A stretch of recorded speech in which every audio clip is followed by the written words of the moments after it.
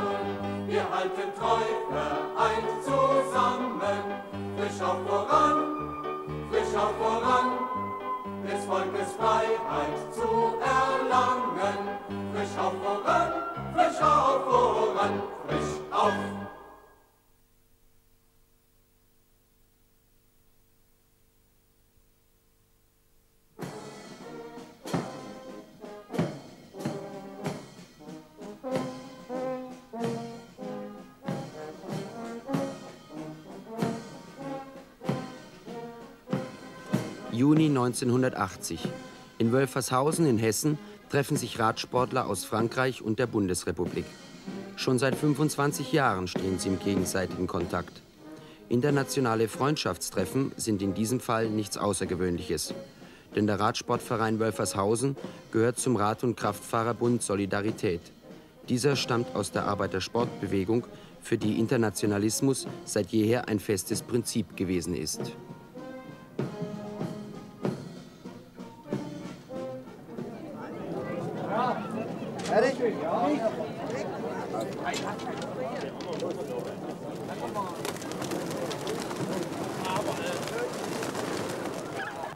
Treffen zwischen deutschen und französischen Arbeitersportlern hat es schon zu Zeiten gegeben, als deutsch-nationale Sportvereine Frankreich noch den Erbfeind nannten.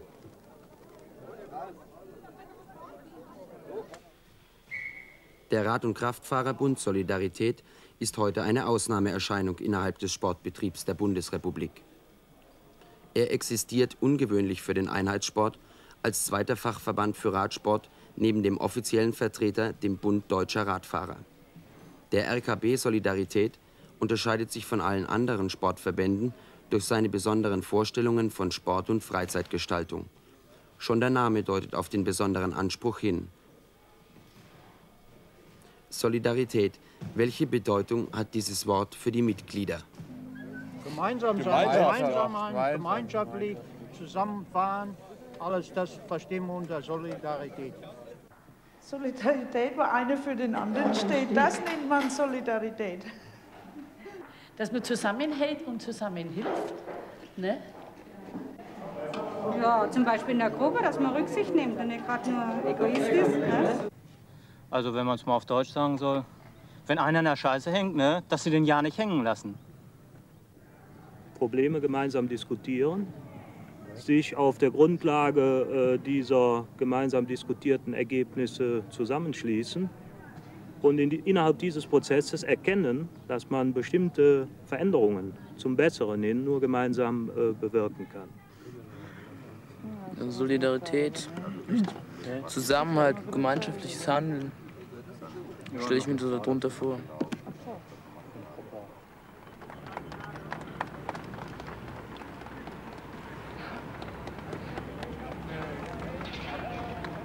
Der Name ist Programm.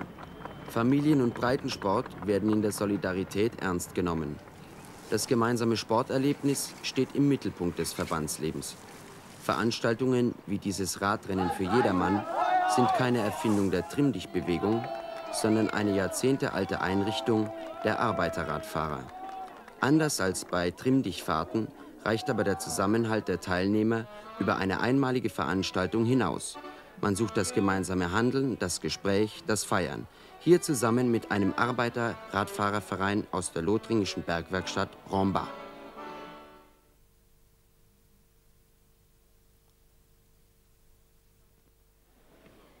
Die beiden Vereine, die sich heute hier in Wülfershausen freundschaftlich treffen, La Flèche und Wanderlust, haben genauso wie die Solidarität als Organisation ihre Wurzeln im ehemaligen Arbeitersport. Wir in Deutschland bedauern noch heute, dass nach dem Zweiten Weltkrieg, als Nazireich und der sogenannte bürgerliche Sport abgewirtschaftet hatten, beim Neuaufbau des Sports in unserem Land die Ideen, die Ideale der ehemaligen Arbeitersportbewegung nicht stärker zum Tragen kamen. Denn Sport bedeutet mehr als körperliche Höchstleistungen zu erbringen. Sportliche Betätigung schafft Ausgleich für anstrengende Arbeit in Fabriken oder Büros. Die Gemeinschaft, die durch den Sport zustande kommt, bietet darüber hinaus die Möglichkeit, auch andere menschliche Fähigkeiten geistiger und kultureller Art auszubilden. Kurz, der Sport soll dem Menschen dienen und nicht der Mensch dem Sport. Das war die Überzeugung der alten Arbeitersportbewegung und das ist unsere Überzeugung noch heute. Die Arbeitersportbewegung entstand in den 90er Jahren des vorigen Jahrhunderts. In ganz Deutschland verließen Arbeiter die bestehenden Vereine und organisierten ihre Freizeit selbst. Sie verstanden sich als dritte Front der Arbeiterbewegung neben Gewerkschaften und SPD. Ihr Ziel war die Erziehung der Arbeiterschaft in körperlicher und geistiger Hinsicht, um damit beizutragen zur Emanzipation der eigenen Klasse. Vorwärts und nie vergessen.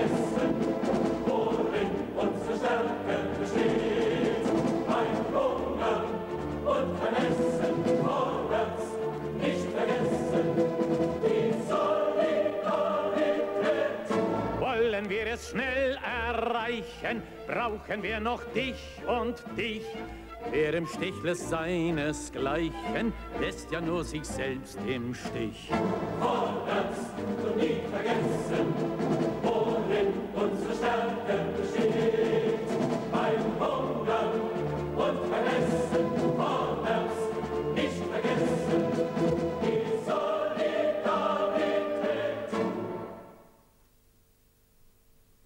1896 schlossen sich die Arbeiterradfahrer zur Solidarität zusammen.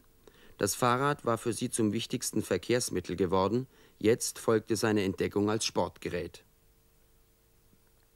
Für viele Arbeiter war es die erste Möglichkeit überhaupt, Vereinssport zu treiben, denn in den bestehenden Velozipedenclubs waren hohe Mitgliedsbeiträge und Startgelder für sie unerschwinglich.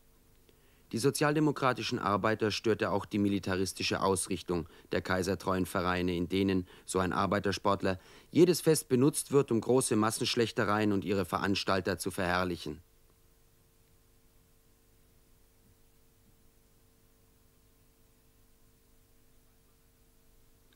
In der Weimarer Republik wurden für die klassenbewussten Arbeitersportler die bürgerlichen oft schon mit dem Faschismus sympathisierenden Sportvereine die erklärten Gegner.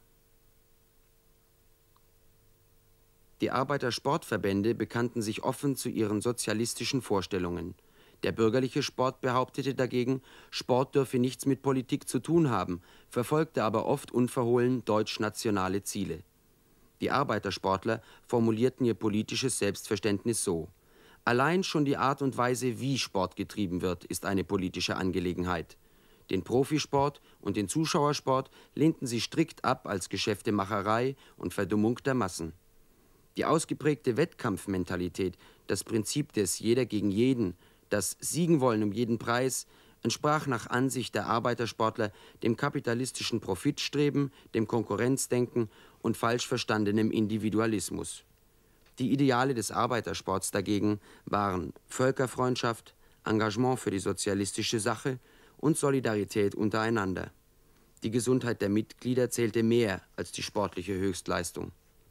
Wo sich Arbeiter in der Gemeinschaft Gleichgesinnter zum Sport trafen, fand sich auch immer Gelegenheit zur Diskussion und zur kulturellen Betätigung.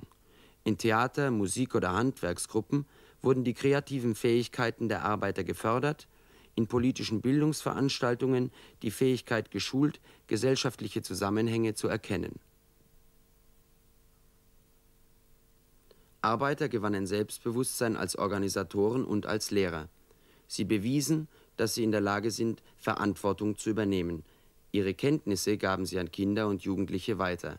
Dabei bemühten sie sich vor allem, die Arbeiterjugend frühzeitig mit der Geschichte und den Zielen der Arbeiterbewegung vertraut zu machen.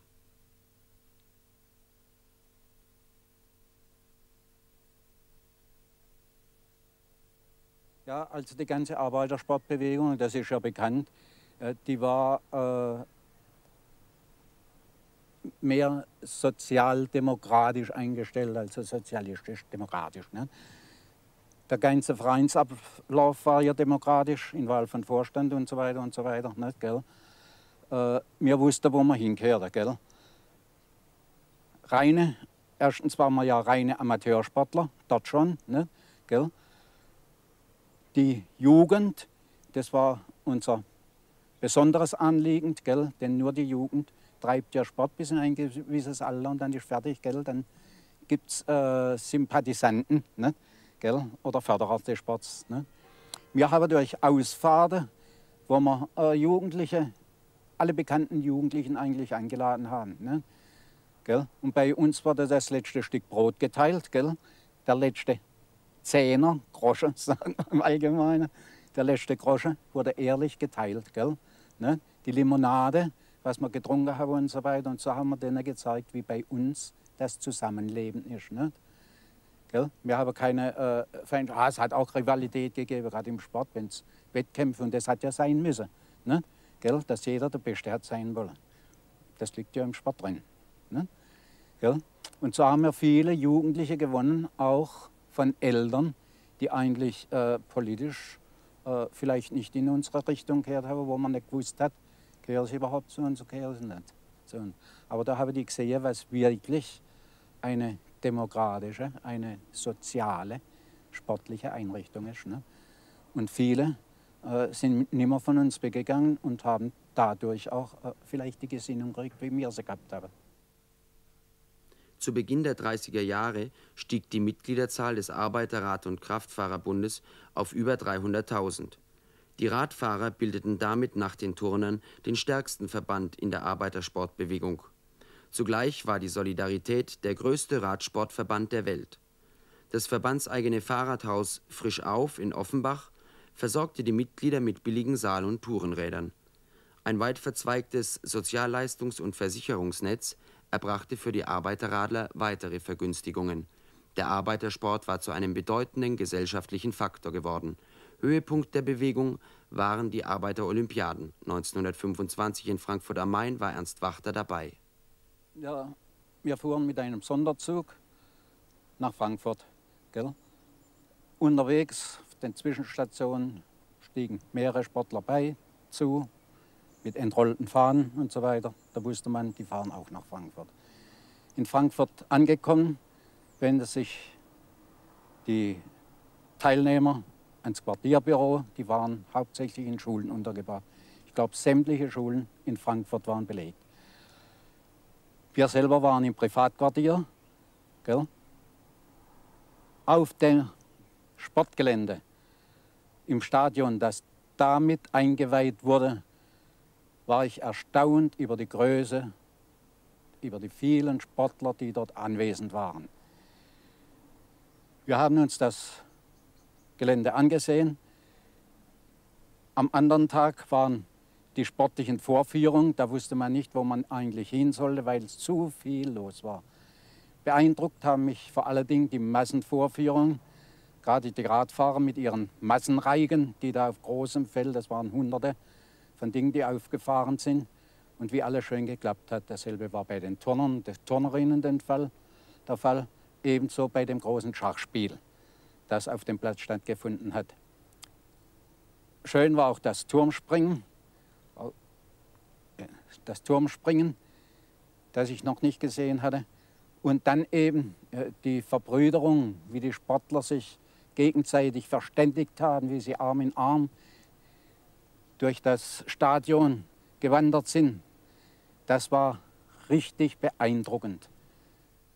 Die Arbeiterolympiaden, die insgesamt dreimal stattfanden, sollten die moralische Überlegenheit des Arbeitersports verdeutlichen. In der ersten Veranstaltung dieser Art im Juli 1925 in Frankfurt beteiligten sich allein über 100.000 aktive Arbeitersportler, darunter 23.000 Radfahrer. Sie folgten damit einem Aufruf der Sozialistischen Arbeitersportinternationale, die Arbeiterolympiade zu einem imposanten Zeugnis der Arbeiterkultur werden zu lassen. Auf der Olympiade der Arbeiter waren alle zugelassen, nicht nur die Spitzenkönner. Arbeitersport war Massensport, Sport für alle. Die teilnehmenden Länder waren dazu aufgefordert, ihre jeweiligen Übungssysteme vorzustellen. Man wollte sehen, welche davon sich für die Körperbildung breiter Kreise am besten eignen.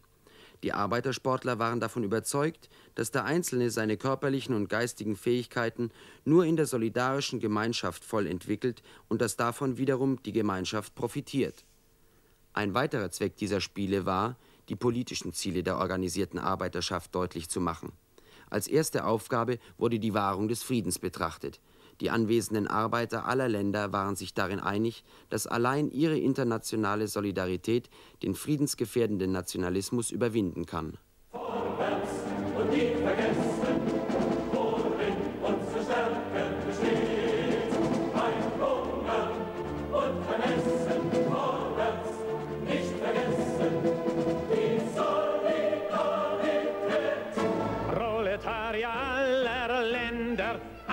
Euch und ihr seid frei. Eure großen Regimenter brechen jede Tyrannei.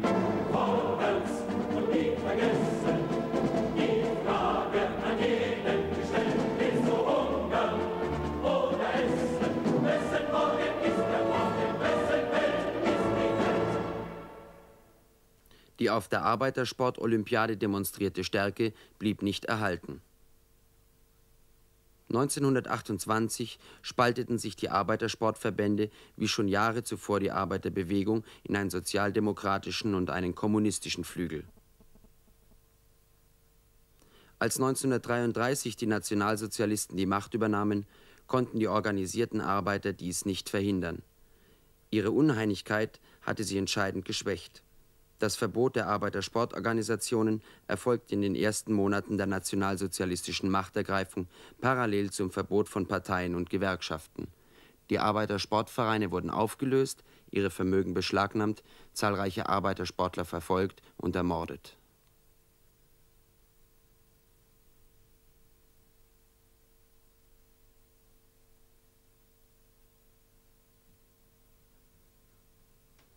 Nach zwölf Jahren Faschismus war Deutschland und ganz Europa ein Trümmerfeld. Die nach der Befreiung gebotene Chance zu einem demokratischen Neubeginn sahen auch die ehemaligen Arbeitersportler. Sie wollten nun, nach Jahren der Illegalität, den Sportbetrieb in ihrem Sinn neu gestalten. 1949 wurde die Solidarität unter dem alten Namen Arbeiter-, Rad- und Kraftfahrerbund wiedergegründet.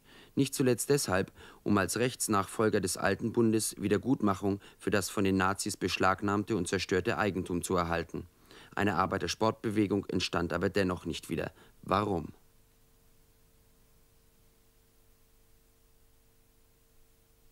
Es waren rein politische Gründe.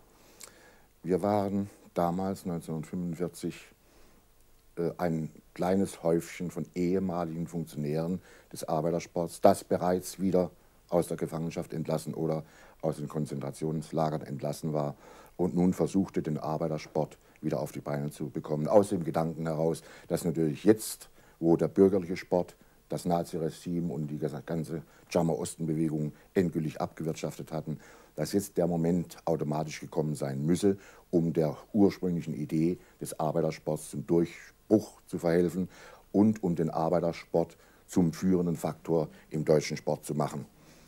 Das äh, scheiterte, die ganze Idee scheiterte an dem Widerspruch der Besatzungsmächte, insbesondere der amerikanischen Sportoffiziere. Es ist falsch, wenn Sie fragen, dass nur die Solidarität oder dass, wenn Sie in Ihrer Frage behaupten, dass nur die Solidarität Wiedergründungsabsichten gehabt hätte. Das ging quer durch alle Arbeitersportorganisationen, einschließlich Arbeitersängerbund, Arbeiterschachclub und so weiter und wurde versucht, aber es blieb in den Anfängen stecken. Und wir hatten damals einen ziemlich starken Vorsitzenden in Frankfurt, der auch mit den Besatzungsmächten und mit der neuen deutschen Regierung ziemlich eng zusammenarbeitete. Und er war ziemlich hartnäckig und hat die Idee nicht losgelassen, bis dann eben endgültig durch die Gründung des Deutschen Sportbundes und so weiter diese ganze äh, Idee zum Erliegen kam. Allerdings, und darin liegt eine gewisse Sturheit des damaligen Vorsitzenden, er hat die Solidarität nicht dem Deutschen Sportbund, nicht den Landessportbünden angeschlossen, sondern glaubte hier einfach eine zweite Kraft haben zu müssen im Sport, die irgendwo und äh, an, an, verschiedenen Stellen, wo es notwendig war, die notwendige Konkurrenz zu dem wie er argwöhnte, wiedererstandenen bürgerlichen Sport darstellte. Nach 1945 wurde der Einheitssport propagiert.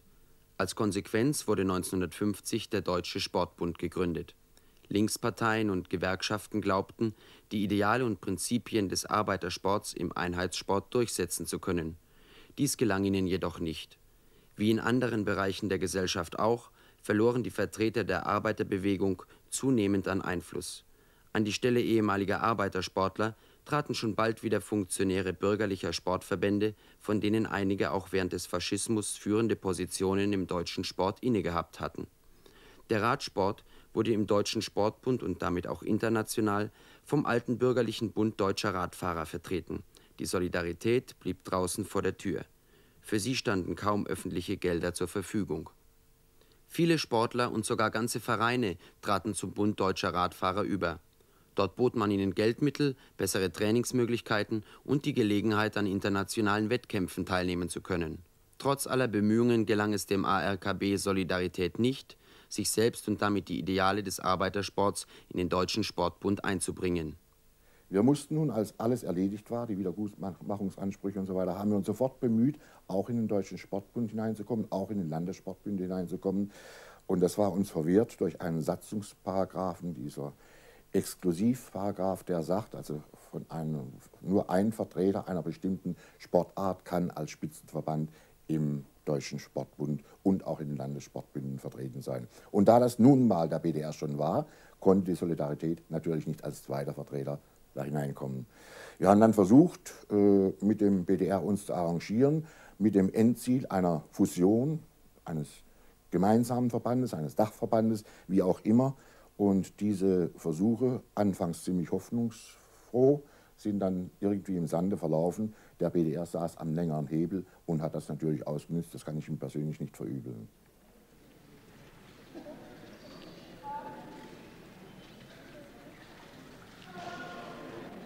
Erst durch ein Urteil in höchster Instanz wurde die Solidarität 1977 Mitglied im Deutschen Sportbund und erhält seitdem mehr Unterstützung. Von der Öffentlichkeit kaum wahrgenommen, gibt es heute über die gesamte Bundesrepublik verteilt Vereine der Solidarität mit über 30.000 Mitgliedern. Neben Tischtennis, Gymnastik und Bowling werden besonders der Motorsport und das Rollschuhlaufen gepflegt. An erster Stelle der Sportaktivitäten steht jedoch der Radsport.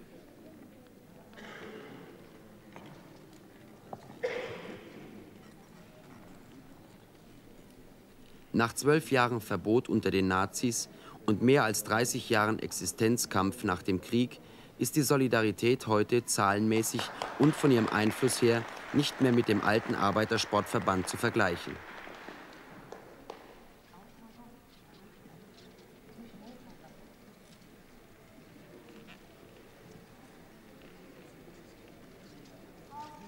1964 wurde das A, das für Arbeiter stand, aus dem Verbandsnamen gestrichen. Ist die Solidarität damit auch den Prinzipien des Arbeitersports untreu geworden? Das würde ich nicht sagen. Der Geist ist der gleiche geblieben, da gibt es gar keinen Zweifel darüber. Das A, schön, A bedeutete Arbeiter.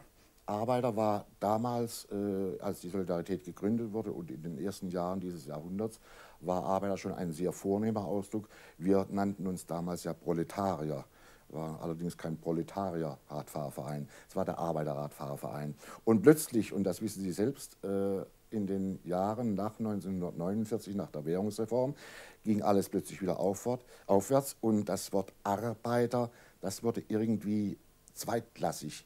Das Wort Arbeiter wurde von weiten Kreisen mit dem Wort Proletarier, mit dem Wort Umstürzler äh, gleichgestellt. Es wollte auch niemand mehr Arbeiter sein. Das ist heute ja so. Nicht wahr? Arbeiter ist also sich ein, beinahe ein Schimpfwort geworden. Da haben wir uns dem Zug der Zeit folgen, haben wir uns gesagt, warum muss das Arbeiter mit Gewalt darin stehen? Wir schrecken durch das Wort Arbeiter viele Interessenten, die zu uns kommen wollen, einfach ab. Inzwischen hat sich die Zeit wieder gewandelt. Arbeiter ist beinahe ein Ehrentitel geworden heute schon wieder. Also ich persönlich wäre froh, wenn das Arbeiter wieder darin wäre.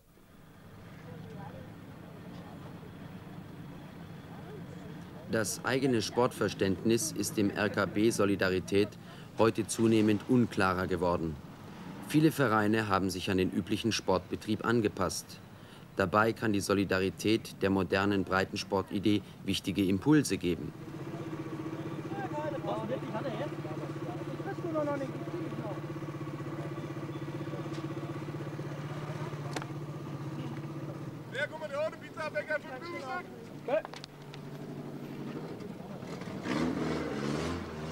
Es lassen sich in der Solidarität noch viele Beispiele finden, die deutlich machen, dass einige Prinzipien des Arbeitersports auch heute noch aktuell sind.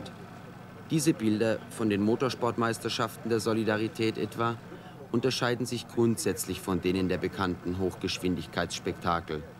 Im RKB Solidarität wird der Profisport mit seinen bekannten Auswüchsen abgelehnt. Hier setzen nicht hochbezahlte Spezialisten ihre Gesundheit für den Nervenkitzel des Publikums und die Werbezwecke großer Unternehmen aufs Spiel.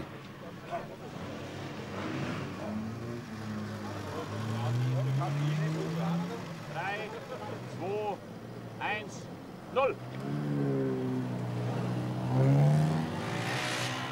Hier treffen sich Amateure, Freizeitsportler, Auto- und Motorradliebhaber, um ihrem Hobby nachzugehen.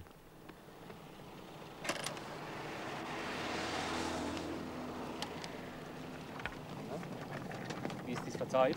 Fahrzeit? Wie? Fahrzeit. Anfangszeit? Nein, die Fahrzeit, die ihr jetzt gehabt habt. Oh, die weiß ich jetzt nicht aus. Wisst ihr nicht? Ja, ich weiß nicht. nicht Ich weiß aber zu früh oder zu spät seid. Ja. Wahrscheinlich, ich habe ihn früh drauf.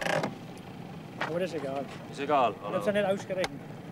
Ja, das müsst ihr machen. Das ist die erste Arbeit.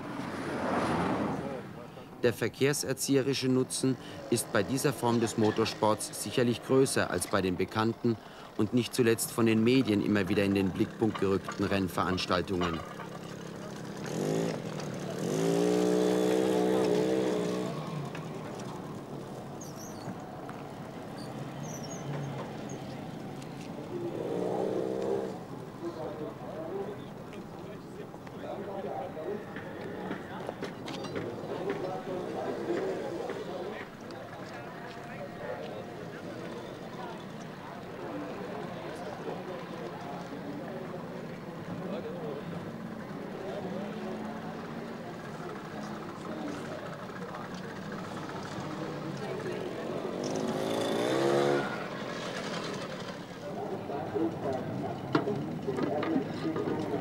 Solidarität steht das Sport- und Freizeitangebot allen offen, auch Nichtmitgliedern.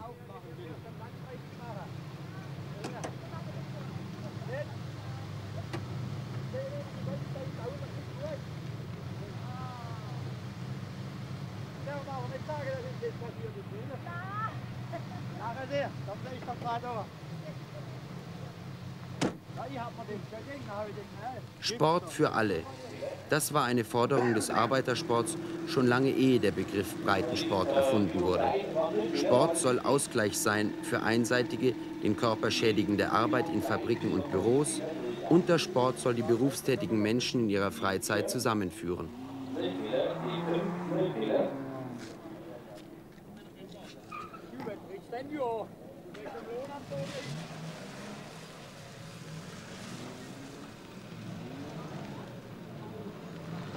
Herr Giesbers mit der Startnummer 73. Bitte ziehen Sie vor zum Start.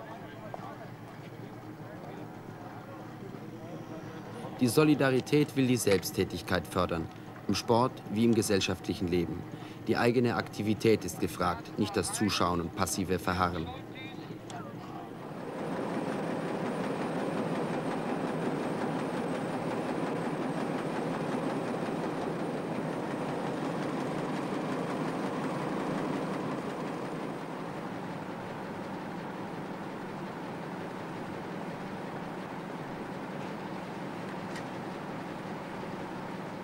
Heinz Mies arbeitet als Schlosser in einer Druckerei.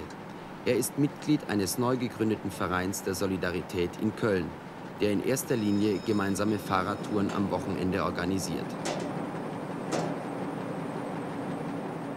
Heinz Mies war eines der ersten Mitglieder.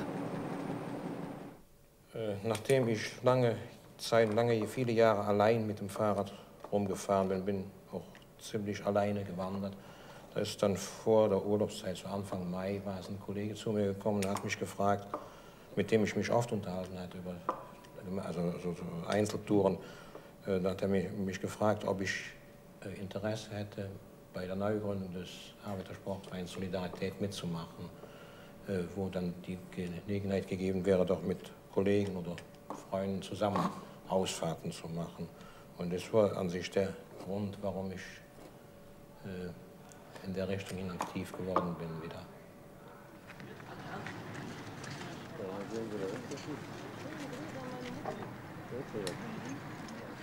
Diese Neugründung in Köln erfolgte bewusst in der Tradition des Arbeitersports.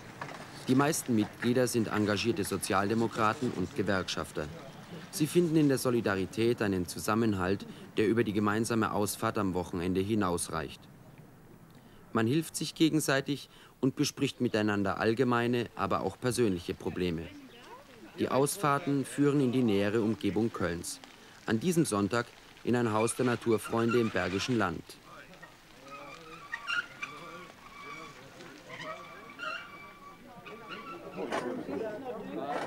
Traditionsbewusst versucht man auch ein kulturelles Programm zu gestalten.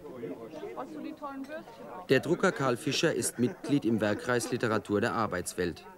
Er ist früher selber Radrennen gefahren und hat in dem Buch Sportgeschichten eine Erzählung über die Solidarität veröffentlicht. Sie handelt von einem Radamateur, der bei einem Straßenrennen endlich einmal in aussichtsreicher Position liegt, dann aber stürzt. Einige Zuschauer helfen ihm. Sie stellen sich vor als Mitglieder des RKB Solidarität. Der Rennfahrer ist erstaunt, denn im Bund deutscher Radfahrer hat er noch nie etwas von der Existenz der Solidarität gehört. Einer seiner Helfer erklärt ihm, woran das seiner Meinung nach liegt. Bruno machte eine weitere Pause, schien zu überlegen, wie er anfangen sollte während ich darüber nachdachte, was denn nun Spannendes kommen würde. Ach scheiße, versuchte er es wieder. Über mich und uns und alle meine Kollegen steht nie was im Radsport und auch nichts in einer anderen Zeitung. Der Radsport ist ja nur offizielles Organ von eurem BDR. Da haben Solidaritätler nichts verloren. So sagt wenigstens der BDR. Verstehst du? Die übrige Presse macht das nicht viel anders. Warum auch? Wir sind ja nur ein Proletenverein. Du einfach totgeschwiegen, fragte ich. Sowas kann doch nicht dein Ernst. Und ob das mein Ernst ist. Du kannst ja fragen, wen du willst. Hat einer je was von der Solidarität gehört? Nee. Pustekuchen. BDR. Bund Deutsche Radfahrer. Ja, Profi. Berufsfahrerverband. Deutscher Sportbund. Und so weiter. Das kennen Sie alle. Nur uns. 400.000 aktive Mitglieder hatten wir mal. Nur uns kennt heute keiner mehr. Und warum, mein Lieber? Weil wir unsere Tradition behalten wollen. Unsere Auffassung, dass Sport auch eine politische Sache ist. Eine Sache von Ausbeutung, Geschäftemacherei, modernem Menschenhandel und so. Weil man die Freude vom Sport wegnimmt und die Superleistung dafür einsetzt. So verdammt nochmal denken wir und darum liest du nichts von uns. Bruno ging wieder in die Hocke, machte sich jetzt an Die Freizeitinteressen dieser Gruppe schließen politische und kulturelle Weiterbildung mit ein. Sie beschäftigt sich mit der Geschichte der Arbeiterbewegung und dazu gehört auch die Geschichte der Solidarität. Heinz Mies fasst die Motive für die Gründung des Kölner Vereins so zusammen.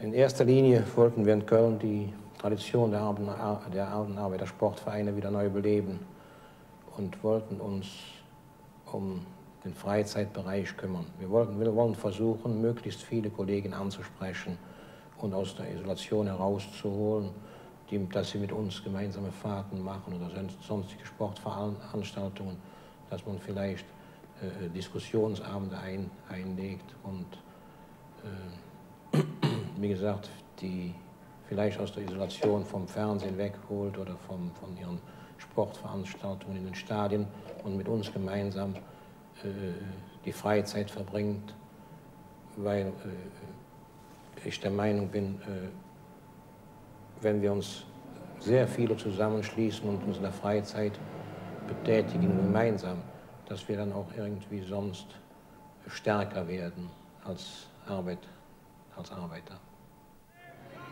Besondere Bedeutung wird in der Solidarität immer noch der Jugendarbeit beigemessen. Gerade heute, wo Jugendliche zunehmend sich selbst überlassen bleiben, leistet dieser kleine Sportverband Beachtenswertes.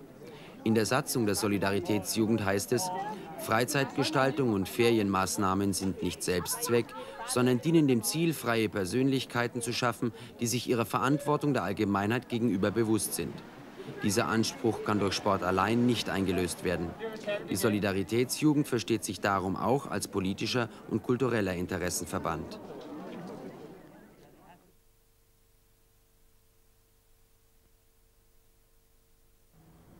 Dieses Prinzip wird bei der Solidaritätsjugend deshalb vertreten, weil wir glauben, dass es nicht genügt, dem Jugendlichen nur im sportlichen Bereich Angebote zu machen. Wir müssen, glaube ich, dem Jugendlichen überall da Angebote machen, wo er sich, äh, wo es seine Freizeit, sein, äh, seinen gesamten Bereich berührt. Das kann zum Beispiel sein im äh, Freizeiterleben, im nicht kommerziellen Freizeiterleben. Das kann sein in der politischen Bildung, das kann sein, was die, Kultur, die kulturelle Seite betrifft, die Jugendpolitik und besonders auch im internationalen Bereich. Den Sport setzen wir jetzt äh, in dem Fall als selbstverständlich voraus. Ich glaube, was noch mit hinzukommt für uns als Solidaritätsjugend, als besondere Qualität ist, äh, dass wir äh, als Verband, als ehemalige Arbeitersportorganisation vor 1933 am eigenen Leib erfahren mussten, dass es nicht genügt, nur einfach Sport zu treiben und sich um sonstige Dinge nicht zu kümmern, sondern dass selbst nur das reine Sporttreiben schon eine hochpolitische Angelegenheit ist. Und deshalb soll das auch in der Jugendarbeit aufgearbeitet werden und soll man sich damit beschäftigen. Die Solidaritätsjugend veranstaltet jedes Jahr ein internationales Ferienlager. In diesem Sommer trafen sich 250 Jugendliche aus acht europäischen Ländern in Augsburg, um gemeinsam ihren Urlaub zu verbringen. In der Einladung hat es geheißen, das Zusammentreffen von Schülern, jungen Arbeitern und Studenten aus verschiedenen Ländern in Ost und West solle zur Solidarität untereinander und zu einem dauerhaften Frieden in der Welt beitragen. Entsprechend demokratisch verlief das Lagerleben. Alle Probleme wurden ausführlich besprochen, alle Entscheidungen traf man gemeinsam. Gibt es seitens des Lagerparlamentes noch irgendwelche äh, äh, Kritik an dem heutigen Tag oder ist äh, alles soweit gut gelaufen?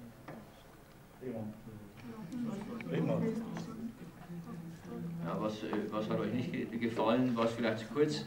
Die tschechischen Freunde, die sind also. Bitte?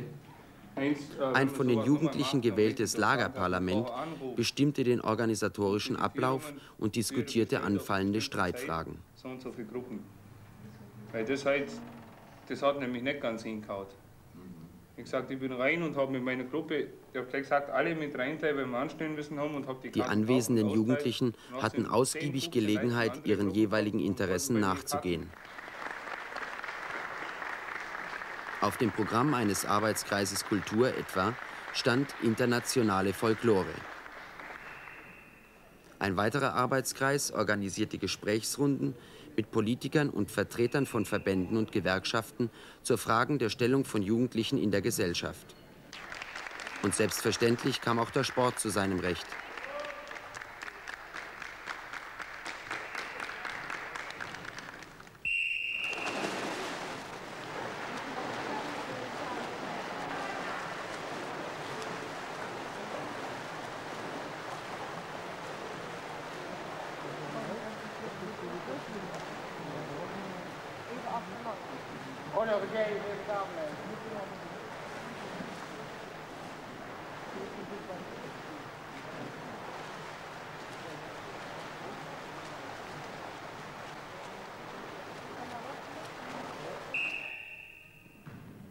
Die Teilnehmer des Jugendlagers, alle Mitglieder von verschiedenen Arbeitersportverbänden ihrer Herkunftsländer, hatten Zeit und Möglichkeit, in Ruhe zu trainieren.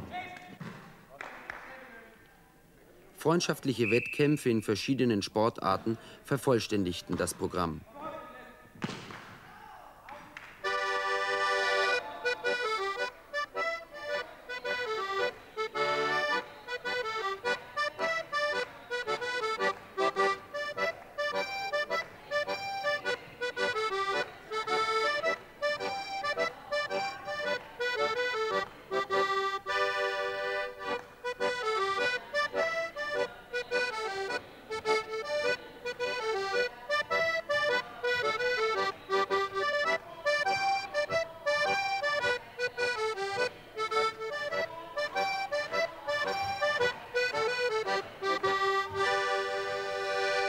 Sport, Politik und Kultur als untrennbare Einheit der Freizeitgestaltung stellen eine beachtenswerte Alternative zum kommerzialisierten Sport- und Freizeitangebot dar.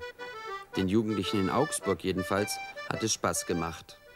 Also am besten finde ich, dass hier die, so viele Nationen da sind, dass man hat kaum die Möglichkeit sonst, dass man mit neun oder zehn Nationen zusammen in einem Lager ist. Man hat jeden Tag Kontakt und man hat viele Freundschaften mit anderen und auch, also die Freundschaften, die bestehen auch lange Zeit. Wir schreiben uns oder wir treffen uns dann während des Jahres. Sie kommen zu uns. Zum Beispiel waren letztes Jahr bei uns zu Hause zehn Marokkaner, die wir vom Lager kennengelernt haben. Die sind mit uns zurückgefahren zu uns nach Hause und waren zehn Tage bei uns zu Hause noch. Und wir schreiben uns auch mit denen. Also ich finde es toll, das hier Angebot ist hier unheimlich gut. Es sind also Arbeitsgast, Freizeit, Jugendpolitik und Sport für einfach für jeden was dabei. Also mich interessiert besonders Sport, aber es gibt auch welche, die gehen nur in Freizeit oder in Jugendpolitik. Und dann haben wir auch immer Ausflüge, Ganztagesfahrten. Und ich glaube, also hier kommt keine Langeweile auf, hier im Lager. Und also letztes Jahr war ich das erste Mal hier und da war nur ich und noch eine aus meinem Verein. Und wir haben alles erzählt daheim im, im Laufe des Jahres. Und heuer sind wir bereits acht Mitglieder, die hier im Lager sind. Und ich glaube, dass wir nächstes Jahr noch mehr sind, wenn wir dann die Bilder zu Hause zeigen und so. Also ich hoffe, dass wir nächstes Jahr 15 oder 20 Mitglieder haben am Lager.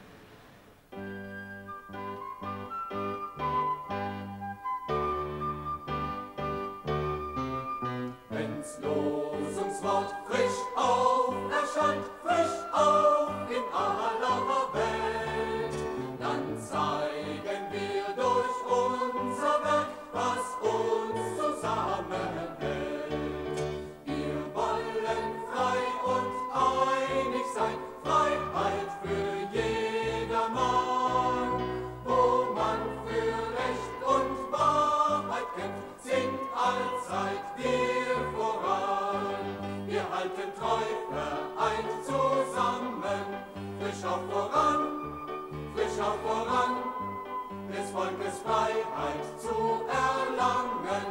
Frisch auf voran, frisch auf voran, frisch auf